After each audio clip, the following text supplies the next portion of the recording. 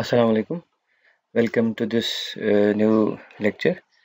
In the previous lecture, we have, have introduced you about the electrical transmission network, uh, fundamental requirements of the power system, uh, different limit uh, limits on which power system may operate, mm, and lead to importance of the controllable parameters and the need of FACTS. So, so we saw how, how to change any parameter to have a control whether on real power or reactive power? Sometimes independently sometimes they may be controlled simultaneously. Now for the small values of delta as we know from the flow uh, equations this qr will be equal to vr by x vs minus vr or this vs minus vr can be taken as delta v. That means it's equal to vr by x.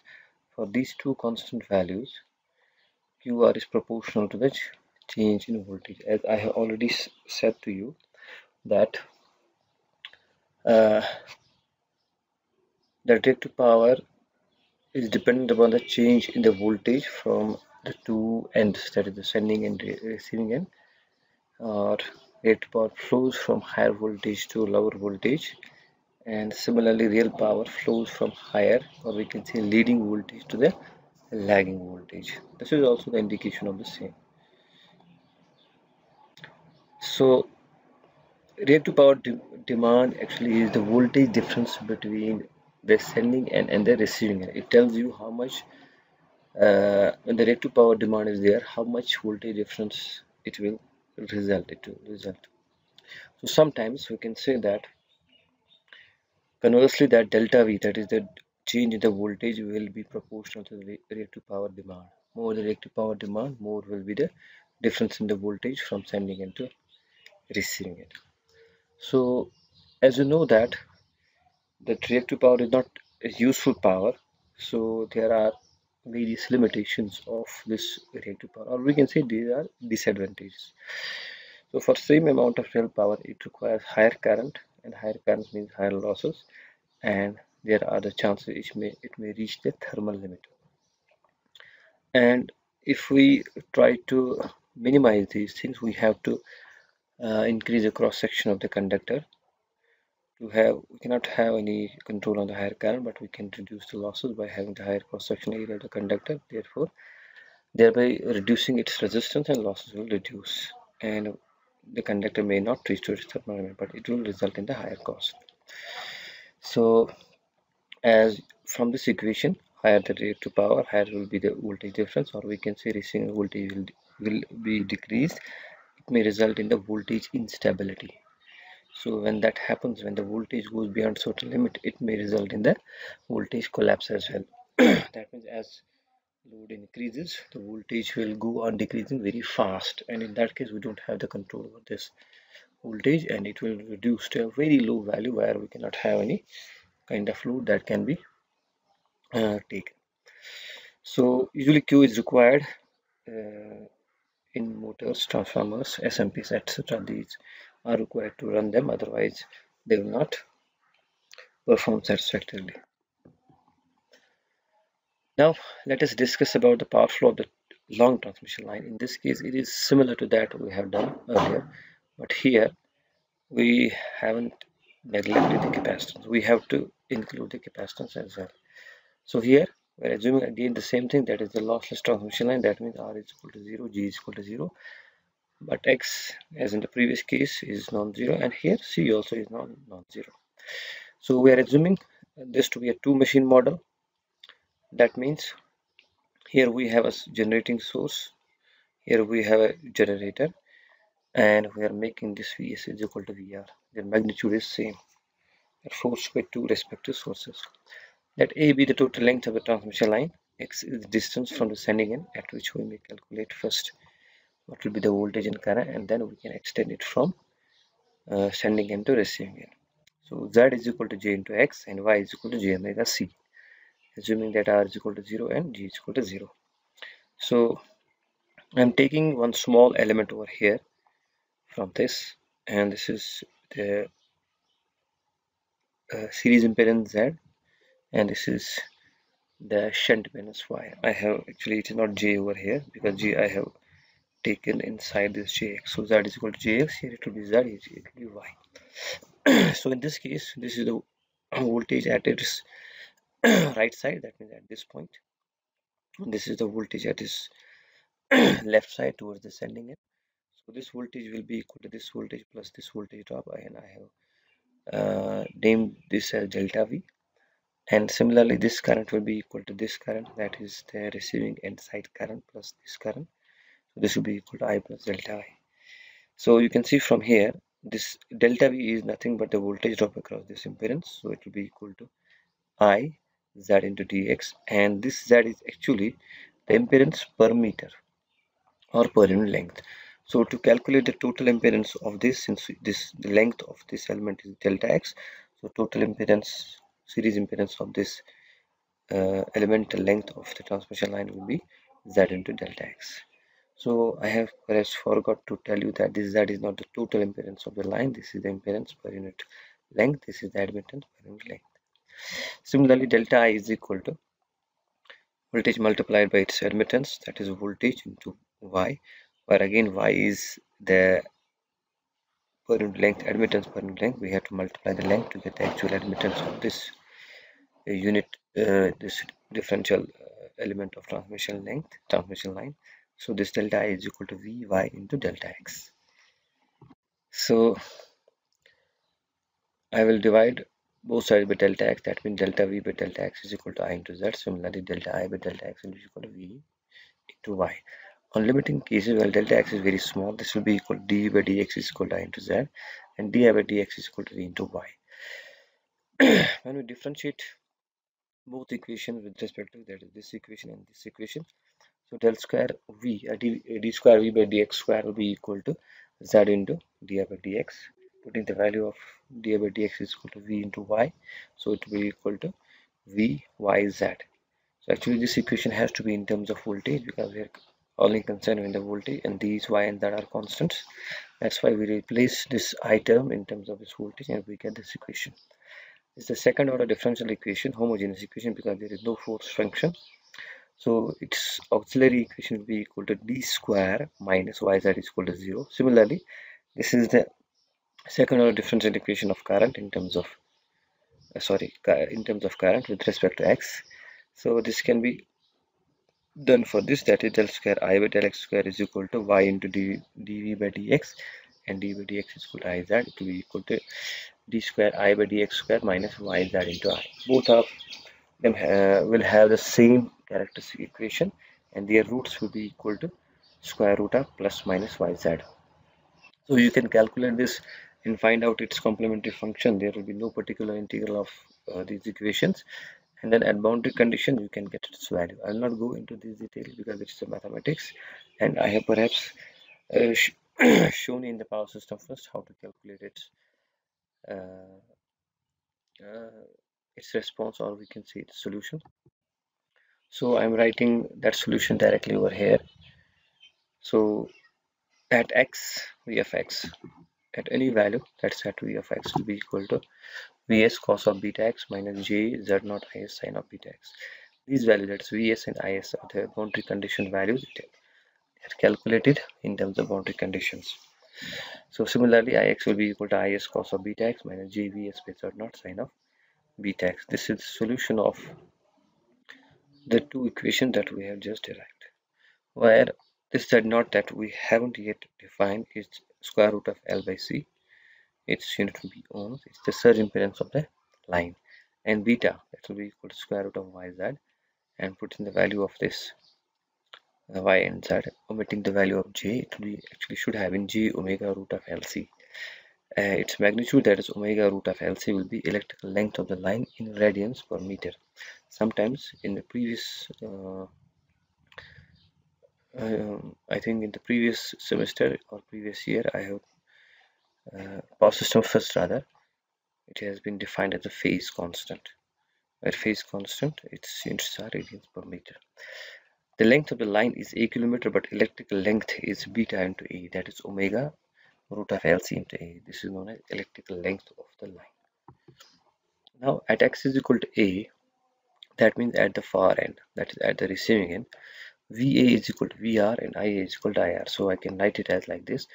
Vr is equal to vs cos of beta i minus j z naught is sine of beta i similarly ir is equal to is cos of beta i minus j vs by z naught sine of beta i here the only thing that i have written that i have replaced vx by vr and ix by ir and these x are replaced by a small a.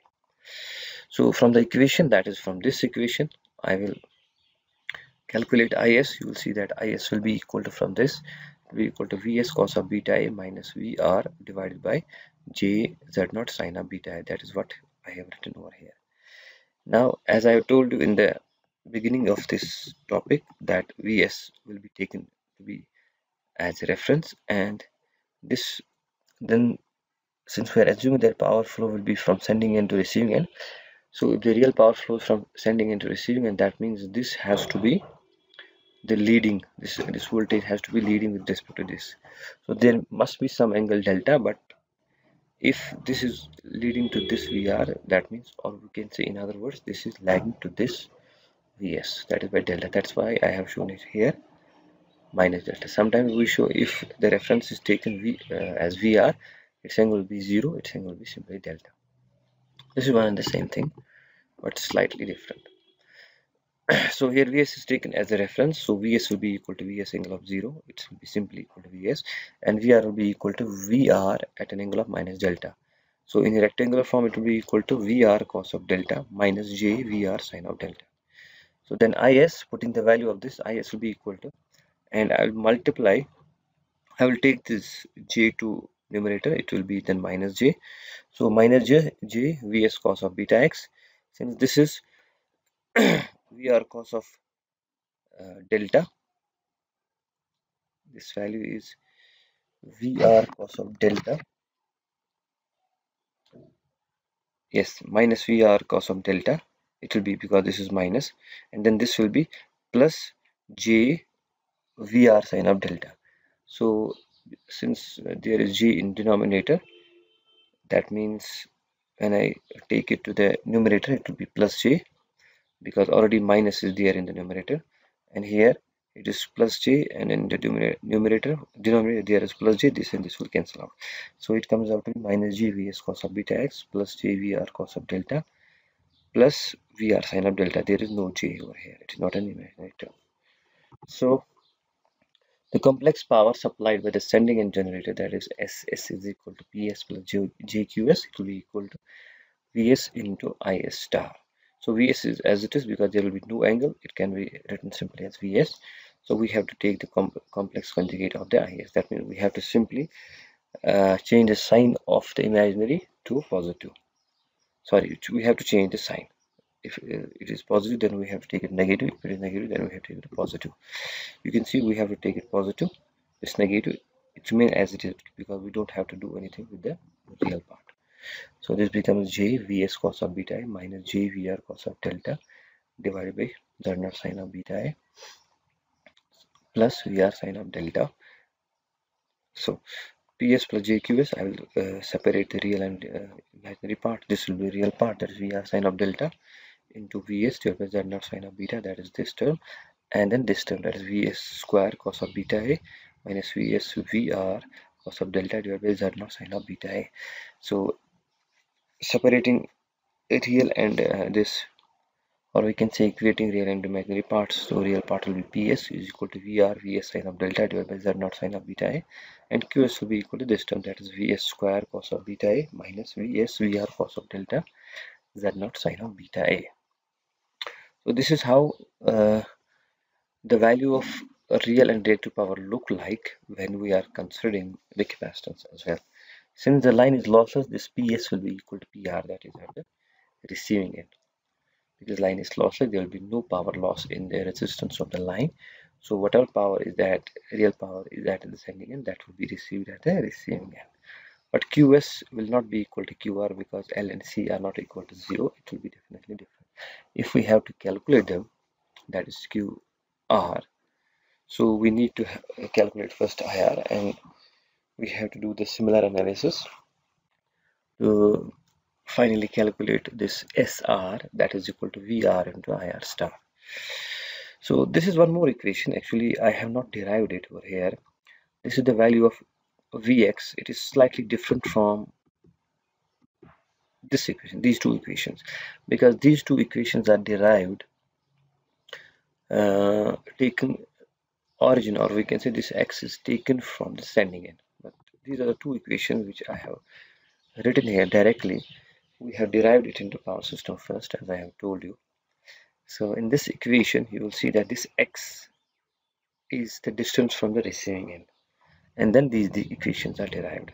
It is derived in the similar manner you will see you will get these type of equations so finally this VR plus IR z naught by 2 e raised power j beta x plus VR minus IR z naught by 2 e raised power minus j beta x.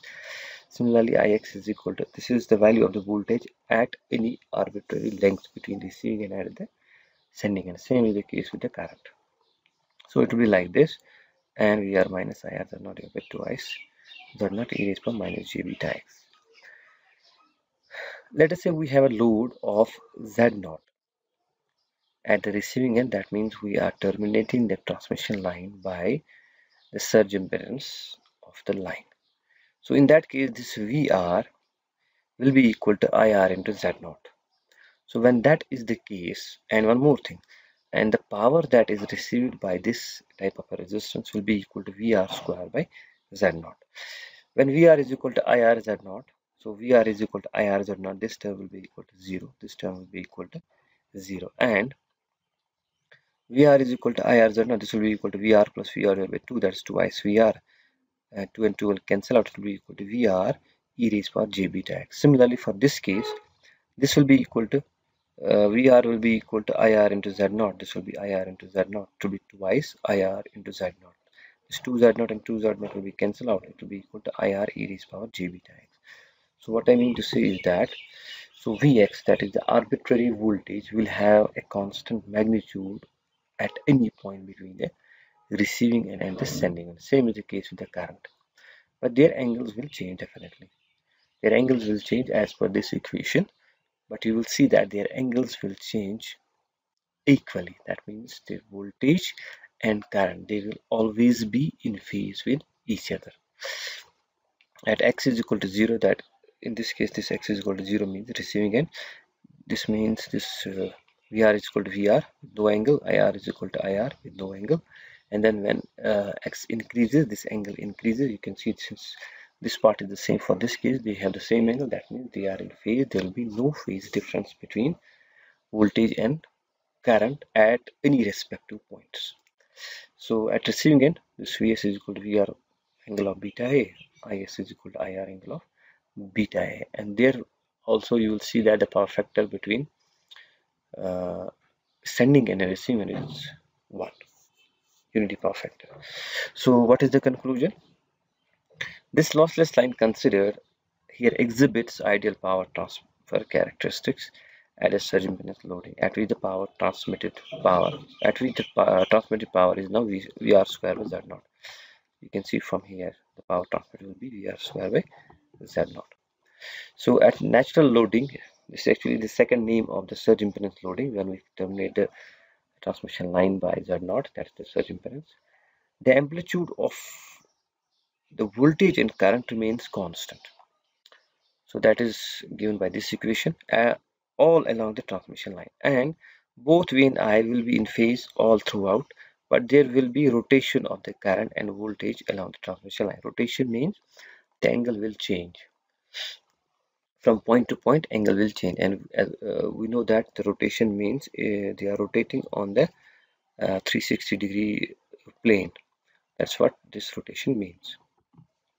You can uh, it is clear it will be clear from this diagram. That is the phase angle will change along the line keeping the magnitude of the voltage and current the same.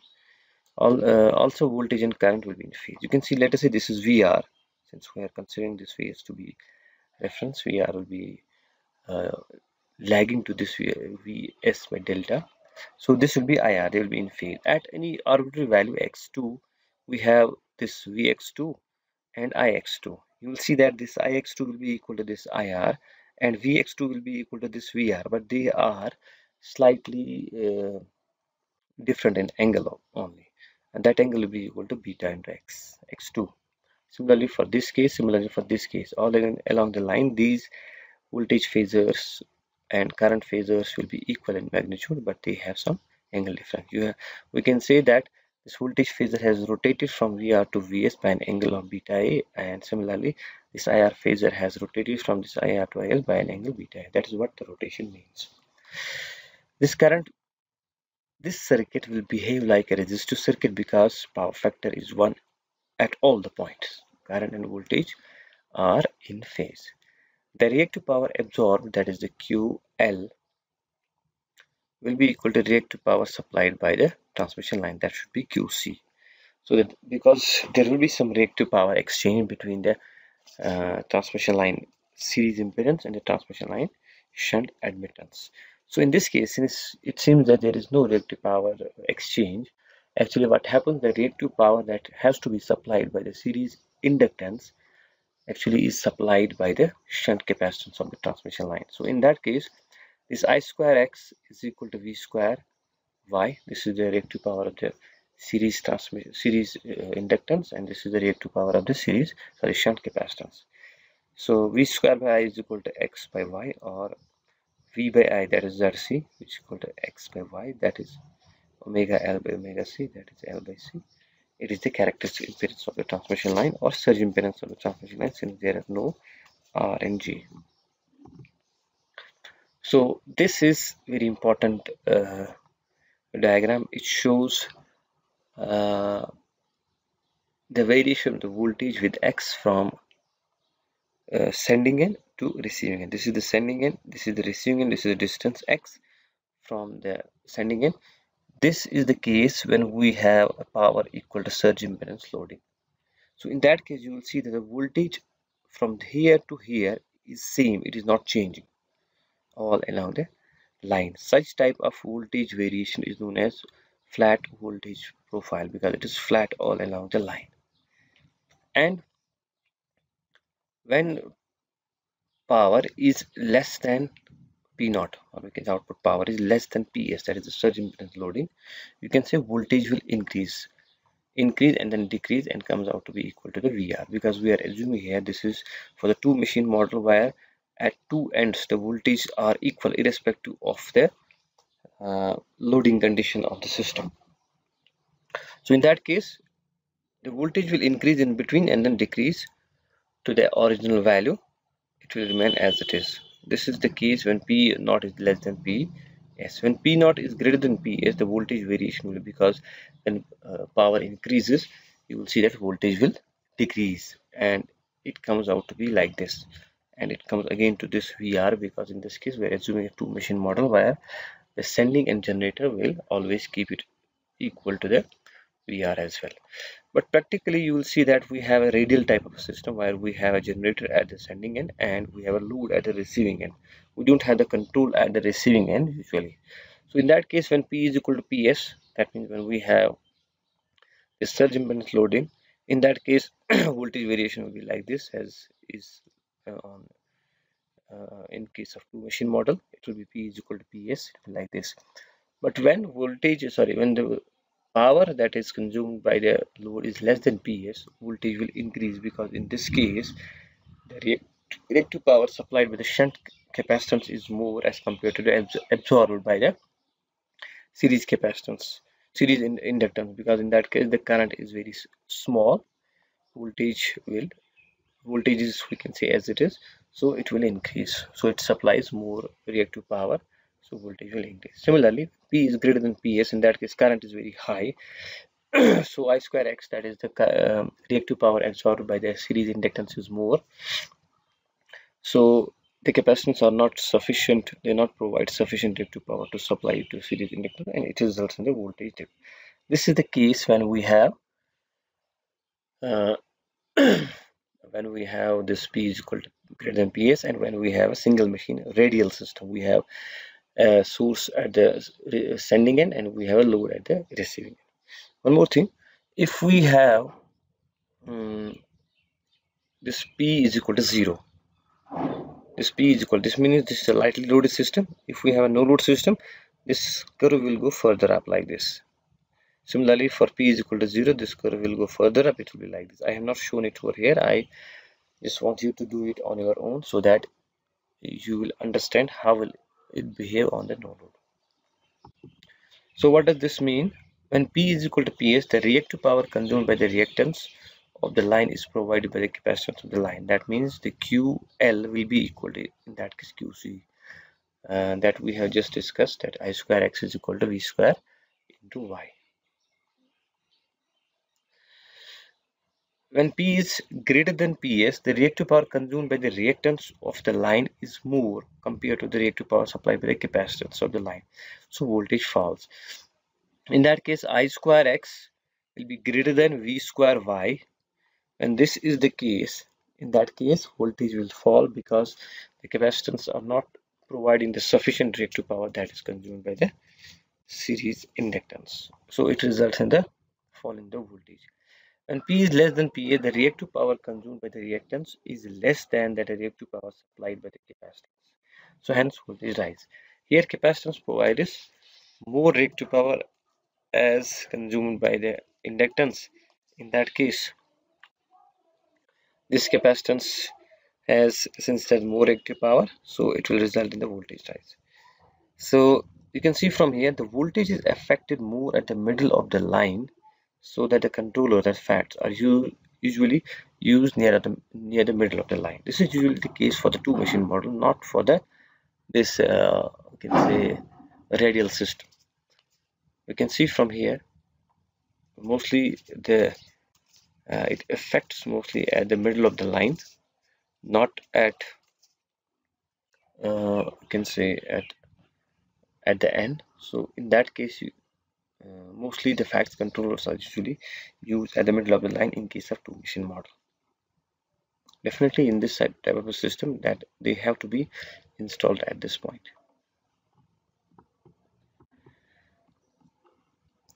One more thing that we need to uh, understand, I think I think I will stop over here. This will be too much to cover in this lecture so I'll stop you over here. Thank you